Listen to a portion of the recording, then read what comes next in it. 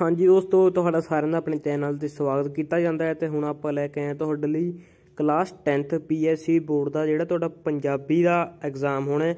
ਉਸ ਲਈ ਆਪਾਂ ਫੁੱਲੀ ਸੋਲਵਡ ਸੈਂਪਲ ਪੇਪਰ ਲੈ ਗਏ ਆ ਇਸ ਕਰਕੇ ਵੀਡੀਓ ਐਂਡ ਤੱਕ ਦੇਖਦੇ ਰਹੋ। ਅੱਜ ਆਪਾਂ ਤੁਹਾਨੂੰ ਵੈਰੀ ਵੈਰੀ ਇੰਪੋਰਟੈਂਟ ਕੁਐਸਚਨ ਕਰਾਵਾਂਗੇ ਤੇ ਜਿਹੜੇ ਕਿ ਤੁਹਾਡੇ ਪੇਪਰ ਵਿੱਚ ਆ ਸਕਦੇ ਨੇ, ਇਸ ਨਾਲ ਤੁਹਾਡੀ ਫੁੱਲ ਰਿਵੀਜ਼ਨ ਹੋ ਜਾਵੇਗੀ। ਇਸ ਕਰਕੇ ਵੀਡੀਓ ਨੂੰ ਐਂਡ ਤੱਕ ਦੇਖਦੇ ਰਹੋ ਤੇ ਸਾਰੇ ਕੁਐਸਚਨ ਜ਼ਰੂਰ ਸੁਣ ਕੇ ਜਾਇਓ। ਤੇ ਜੇ ਤੁਸੀਂ ਆਪਣੇ ਚੈਨਲ ਤੇ ਨਵੇਂ ਆਏ ਹੋ, ਚੈਨਲ ਨੂੰ ਕਰ ਲਓ ਸਬਸਕ੍ਰਾਈਬ ਅਤੇ ਨਾਲ ਲੱਗੀ ਘੰਟੀ ਨੂੰ ਪ੍ਰੈਸ ਕਰ ਦਿਓ। ਤੇ ਚਲੋ ਫਿਰ ਅੱਜ ਦੀ ਵੀਡੀਓ ਨੂੰ ਸ਼ੁਰੂ ਕਰਦੇ ਹਾਂ, ਜ਼ਿਆਦਾ ਟਾਈਮ ਨਾ ਖਰਾਬ ਕਰਦੇ ਹੋਏ।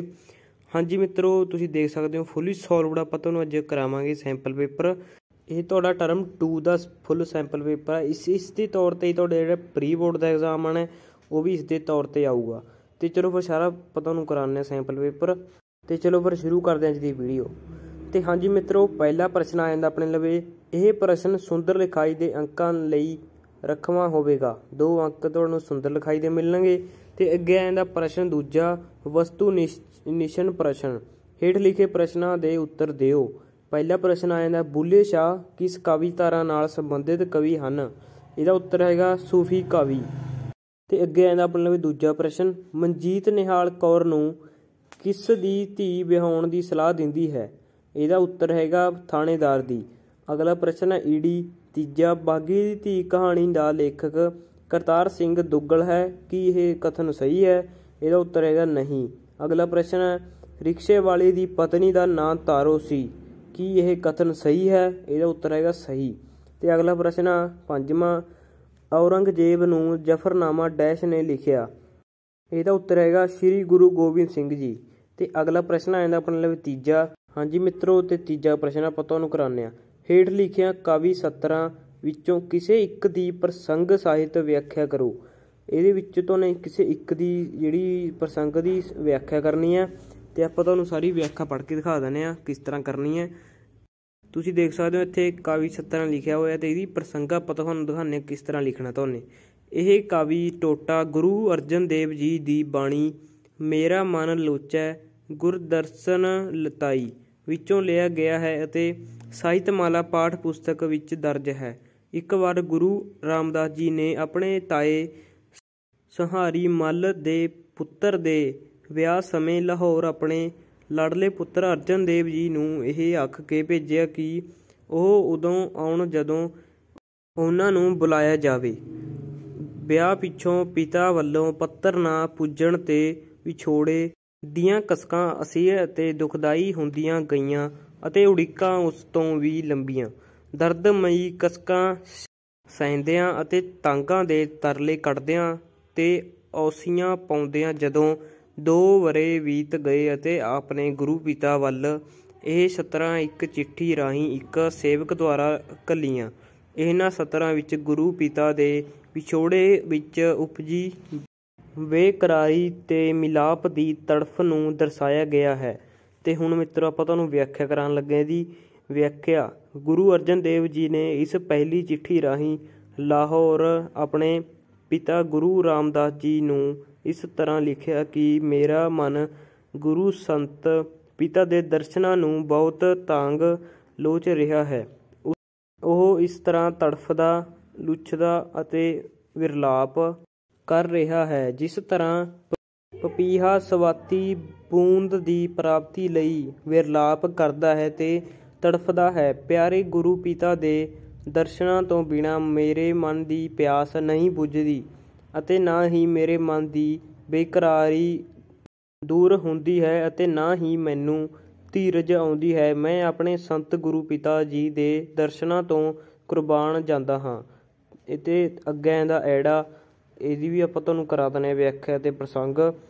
ਇਹਦਾ ਪ੍ਰਸੰਗ ਦੇਖ ਸਕਦੇ ਹੋ ਤੁਸੀਂ। ਇਹ ਕਵੀ ਟੋਟਾ ਹਾਸ਼ਮ ਦੇ ਸ਼ਾਹਕਾਰ ਕਿਸੇ ਕਿੱਸਾ ਸੱਸੀ ਪੰਨੂ ਵਿੱਚੋਂ ਲਿਆ ਗਿਆ ਹੈ ਅਤੇ ਸ਼ਾਹਿਦ ਮਾਲਾ ਪਾਠ ਪੁਸਤਕ ਵਿੱਚੋਂ ਕਿੱਸਾ ਸੱਸੀ ਪੰਨੂ ਸਿਰਲੇਖ ਹੇਠ ਦਰਜ ਹੈ। ਇਸ ਵਿੱਚ ਕਵੀ ਨੇ ਉਸ ਵੇਲੇ ਦੀ ਘਟਨਾ ਨੂੰ ਰੂਪਮਾਪ ਕੀਤਾ ਹੈ। ਜਦੋਂ ਸੱਸੀ ਵਿਛੋੜੇ ਹੋਏ ਪੰਨੂ ਪੁੰਨੂ ਦੀ ਭਾਲ ਵਿੱਚ ਮਾਰੂਥਲ ਵੱਲ ਦੌੜ ਪੈਂਦੀ ਹੈ। ਇਹਨਾਂ ਕਵੀ ਸਤਰਾਂ ਵਿੱਚ ਹਾਸ਼ਮ ਨੇ ਇਹ ਦਰਸਾਇਆ ਹੈ ਕਿ ਮਾਰੂਥਲ ਦੀ ਗਰਮੀ ਅਤੇ ਵਿਛੋੜੇ ਤੇ ਬਿਰਹੋਂ ਦੀ ਤਪਸ਼ ਸੱਸੀ ਦਾ ਬਹੁਤ ਬੁਰਾ ਹਾਲ ਕਰ ਰਹੀ ਸੀ। ਪਰ ਸੱਸੀ ਦਾ ਯਕੀਨ ਦੇਖੋ ਕਿ ਉਹ ਪਿੱਛੇ ਨਹੀਂ ਮੁੜਦੀ ਸੀ। ਵਿਆਖਿਆ ਕਰਦੇ ਨੇ ਆਪਾਂ ਹੁਣ ਹਾਸ਼ਮ ਦੱਸਦਾ ਹੈ ਕਿ ਸੱਸੀ ਦੇ ਪੈਰ ਬੜੇ ਕੋਮਲ ਅਤੇ ਬਗਨਾ ਦੀ ਮਹਿੰਦੀ ਨਾਲ ਸ਼ਿੰਗਾਰੇ ਹੋਏ ਸਨ। ਜੇ ਕੋਈ ਆਸ਼ਕ ਉਸ ਦੇ ਸੋਹਣੇ ਪੈਰਾਂ ਨੂੰ ਵੇਖ ਲੈਂਦਾ ਤਾਂ ਉਸ ਦੇ ਉੱਤੇ ਆਪਣੀ ਜਿੰਦ ਜਾਨ ਵਾਰਨ ਨੂੰ ਤਿਆਰ ਹੋ ਜਾਂਦਾ ਸੀ। ਸਿਖਰ ਦੁਪਹਿਰੇ ਮਾਰੂਥਲ ਵਿੱਚ ਰੇਤ ਗਰਮੀ ਨਾਲ ਇਸ ਤਰ੍ਹਾਂ ਤਪ ਰਹੀ ਸੀ, ਜਿਸ ਤਰ੍ਹਾਂ ਪਠਿਆਰੇ ਭੱਠੀ ਵਿੱਚ ਜੋ ਭੁੰਨ, ਜਿਉਂ ਭੁੰਨ ਰਹੇ ਹੋਣ। ਹਾਸ਼ਮ ਕਹਿੰਦਾ ਹੈ ਕਿ ਮਾਰੂਥਲ ਵਿੱਚ ਪੁੰਨੂ ਦੀ ਟਾਚੀ ਦੀ ਪੈੜ ਲੱਭਦੀ ਇਸ ਗਰਮੀ ਨਾਲ ਸੱਸੀ ਦੀ ਬੜੀ ਬੁਰੀ ਹਾਲਤ ਹੋ ਗਈ ਸੀ। ਪਰ ਹਾਸ਼ਮ ਆਪਣਾ, ਪਰ ਹਾਸ਼ਮ ਆਖਦਾ ਹੈ ਕਿ ਸੱਸੀ ਦਾ ਯਕੀਨ ਦੇਖੋ, ਉਹ ਸਿੱਦਕ ਤੋਂ ਪਿੱਛੇ ਨਹੀਂ ਹੋਣ ਹਟੀ ਅਤੇ ਤਪਦੀ ਰੇਤ ਉੱਤੇ ਤੁਰਦੀ ਹੀ ਰਹੀ। ਤੇ ਹਾਂਜੀ ਮਿੱਤਰੋ, ਅੱਗੇ ਆਉਂਦਾ ਆਪਣੇ ਲਵੇ ਪ੍ਰਸ਼ਨ ਨੰਬਰ 4 ਹੇਠ ਲਿਖਿਆ, ਕਵੀ, ਕਵਿਤਾਵਾਂ ਵਿੱਚੋਂ ਕਿਸੇ ਇੱਕ ਕਵਿਤਾ ਦਾ ਕੇਂਦਰੀ ਭਾਵ ਲਗਭਗ 30 ਸ਼ਬਦਾਂ ਵਿੱਚ ਲਿਖੋ। ਤੇਰਾ ਨਾਮ ਧਿਆਈ ਦਾ ਸਾਈ, ਬੁੱਲੇ ਸ਼ਾਹ।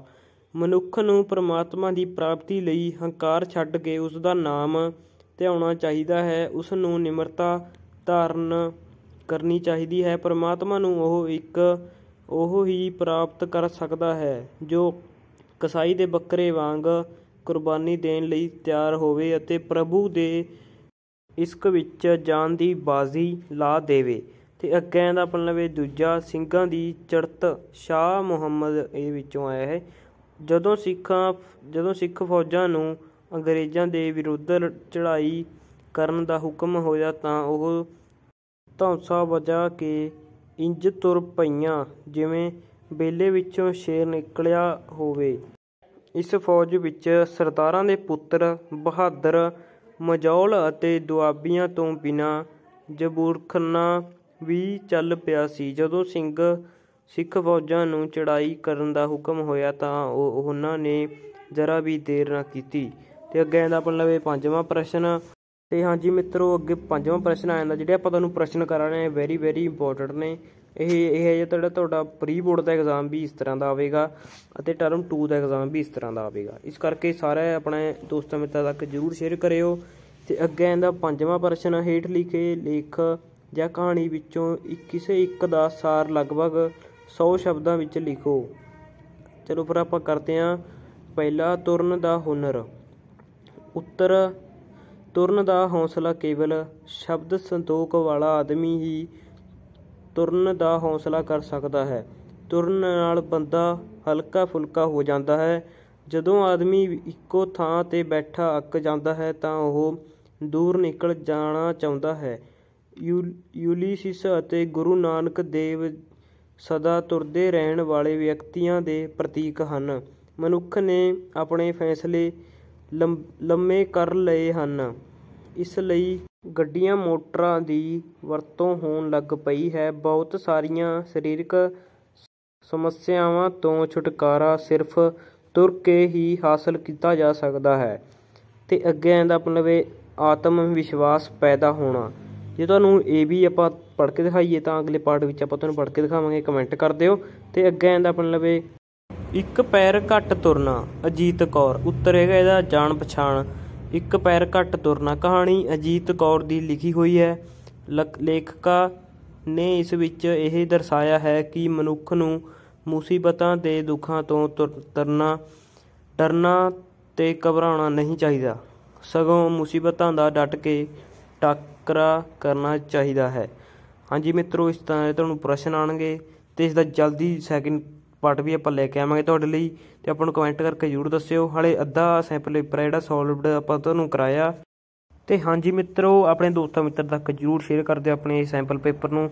ਇਹ ਆਪਾਂ ਤੁਹਾਡੇ ਲਈ ਸੋਲਵਡ ਕਰਕੇ ਆਪਾਂ ਤੁਹਾਡੇ ਲਈ ਲੈ ਕੇ ਆਏ ਆ ਸੋਲਵਡ ਸੈਂਪਲ ਪੇਪਰ ਤੁਹਾਡੇ ਲਈ ਤਾਂ ਕਿ ਤੁਹਾਡੀ ਤਿਆਰੀ ਹੋ ਸਕੇ ਪੇਪਰ ਲਈ। ਇਸ ਕਰਕੇ ਜੇ ਤੁਸੀਂ ਆਪਣੇ ਚੈਨਲ ਤੇ ਨਵੇਂ ਆਏ ਹੋ ਚੈਨਲ ਨੂੰ ਕਰ ਲਓ ਸਬਸਕ੍ਰਾਈਬ ਅਤੇ ਨਾਲ ਲੱਗੀ ਘੰਟੀ ਨੂੰ ਜ਼ਰੂਰ ਪ੍ਰੈਸ ਕਰ ਦਿਓ ਤਾਂ ਕਿ ਆਪਣੀ ਵੀਡੀਓ ਸਭ ਤੋਂ ਪਹਿਲਾਂ ਤੁਹਾਡੇ ਤੱਕ ਪਹੁੰਚ ਜਾਵੇ। ਤੇ ਜੇ ਤੁਹਾਨੂੰ ਕੋਈ ਹੋਰ, ਕੋਈ ਵੀ ਕਲਾਸ ਦਾ ਅਤੇ ਕੋਈ ਵੀ ਸੈਂਪਲ ਪੇਪਰ ਚਾਹੀਦਾ ਸੋਲਵਡ ਤਾਂ ਆਪਾਂ ਨੂੰ ਕਮੈਂਟ ਕਰਕੇ ਜ਼ਰੂਰ ਦੱਸਿਓ। ਤੇ ਆਪਾਂ ਜਲਦੀ ਤੁਹਾਡੇ ਲਈ ਲੈ ਕੇ ਆਵਾਂਗੇ। ਇਸ ਕਰਕੇ ਵੱਧ ਤੋਂ ਵੱਧ ਜਲਦੀ ਤੋਂ ਜਲਦੀ ਜਾ ਕੇ ਕਮੈਂਟ ਕਰਕੇ ਆਪਾਂ ਨੂੰ ਦੱਸੋ ਕਿ ਜੇ ਕੋਈ ਹੋਰ ਤਾਂ ਚਾਹੀਦਾ ਤੁਹਾਨੂੰ ਕਿਸੇ ਵੀ ਕਲਾਸ ਦਾ ਸੈਂਪਲ ਪੇਪਰ ਅਤੇ ਜੇ ਇਸ ਦਾ ਪੰਜਾਬੀ ਦਾ 10ਵੀਂ ਦਾ ਸੈਕਿੰਡ ਪਾਰਟ ਚਾਹੀਦਾ ਉਹ ਵੀ ਕਮੈਂਟ ਕਰ ਦਿਓ, ਆਪਾਂ ਤੁਹਾਡੇ ਲਈ ਜਲਦੀ ਹੀ ਲੈ ਕੇ ਆਵਾਂਗੇ। ਤੇ ਚਲੋ ਫਿਰ ਮਿਲਦੇ ਹਾਂ ਅਗਲੀ ਵੀਡੀਓ ਵਿੱਚ ਤੱਕ ਲਈ ਧੰਨਵਾਦ।